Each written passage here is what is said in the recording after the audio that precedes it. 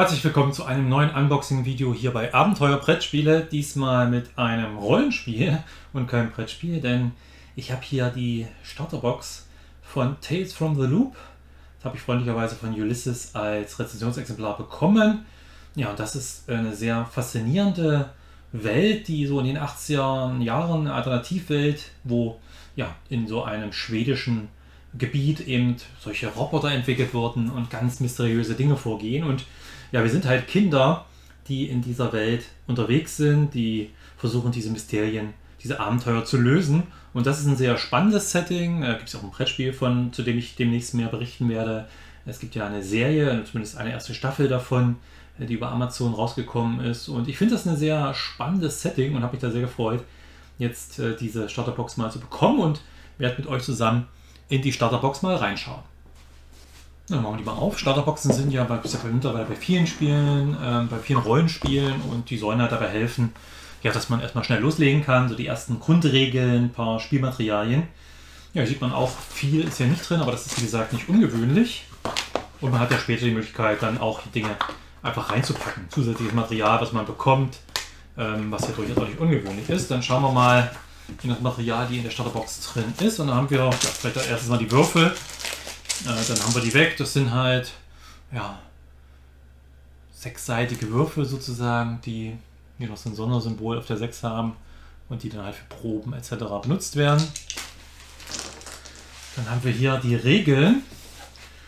Und da schauen wir mal rein. Ich finde natürlich bei Tales from the Loop auch sehr schön, diese Illustrationen sind einfach toll. Ja. Die machen einfach so viel Stimmung. Man sieht halt immer so diese etwas karge, nordische, schwedische Landschaft und dann äh, die Kinder und dann irgendwie das 80er Jahre Flair mit den Autos und so weiter, BMX-Rad und dann halt diese Roboter, die dann da rummarschieren. So, dann wird erklärt, wie das Rollenspiel grundsätzlich funktioniert. Das ist ja in der Regel immer so, dass man halt schauen muss, ähm, ja, wie das hier wie das funktioniert. Man muss ja davon ausgehen, dass eine Starterbox wird von einem ähm, von jemand gekauft, der noch nie Rollenspiel gespielt hat. Ist auch so, dass hier die der Tales from the Loop das Rollenspiel sowohl in Schweden als auch in einer Kleinstadt in äh, Boulder City in Nevada gespielt werden kann. Also man muss es nicht zwangsläufig in Schweden spielen. Dann die Kinder, und da geht es schon dann auch in Regeln direkt rein. Wir haben die Attribute der Kinder, das heißt, welche Attribute die haben, mit denen, wie man das halt vom Rollenspiel so kennt. Hat halt jeder einen Charakter, der hat bestimmte Attribute und Fähigkeiten. Hier haben wir dann ähm, gewisse Zustände oder Effekte, Charme, auch bestimmte weitere Möglichkeiten, wahrscheinlich Fähigkeiten, die hier alle erklärt werden. Und das war's schon. Ja. Schauen wir mal, was noch so drin ist. Dann haben wir hier eine Karte. Haben wir zum einen hier die schwedische äh, Karte für The Loop. Wir haben halt hier das Gebiet. Das ist auch die Karte, die im Brettspiel Tales from the Loop verwendet wird. Wo wir dann reisen können. Ja, hier sieht man auch, wo die Beschleunigertunnel äh, sind und diese verschiedenen Beschleuniger und welche Effekte die gegebenenfalls dort in diesen Bereichen auch haben. Und dann haben wir auch noch, nehme ich mal an, genau die äh, ja, diese Stadt, in der wir im ähm, USA spielen können, Boulder City. Da gibt es halt auch einen Loop. Und hier können wir halt, der Beschleuniger sieht man hier.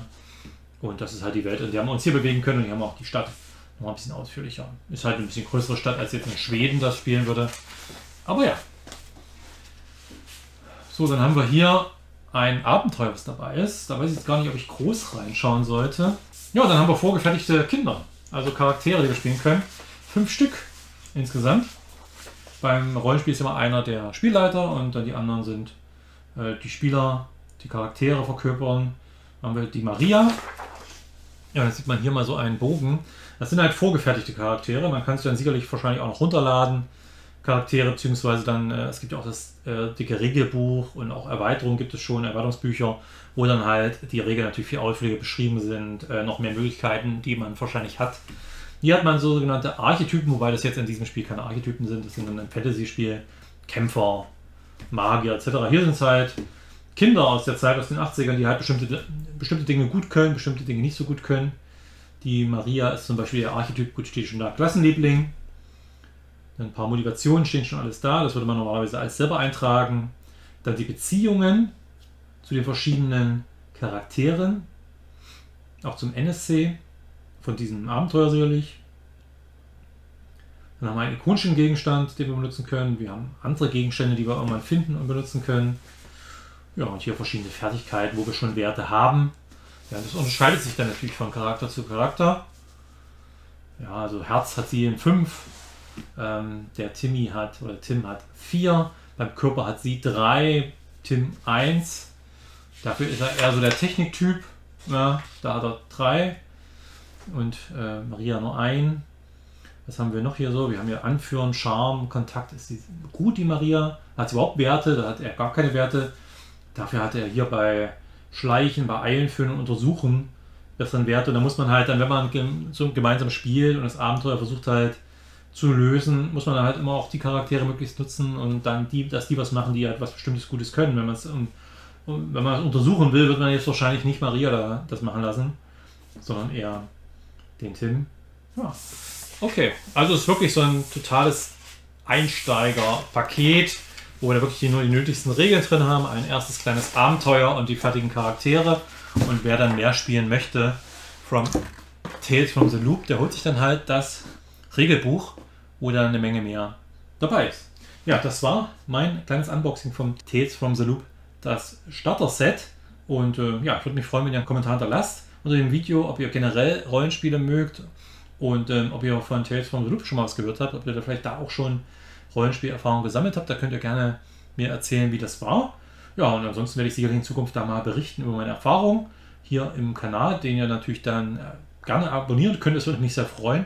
Und auch auf abenteuer-brettspiele.de findet ihr eben eine Menge über Brettspiele, aber in Zukunft eben auch mehr noch über Rollenspiele. Das war's für heute und wir sehen uns dann im nächsten Video wieder. Bis dann!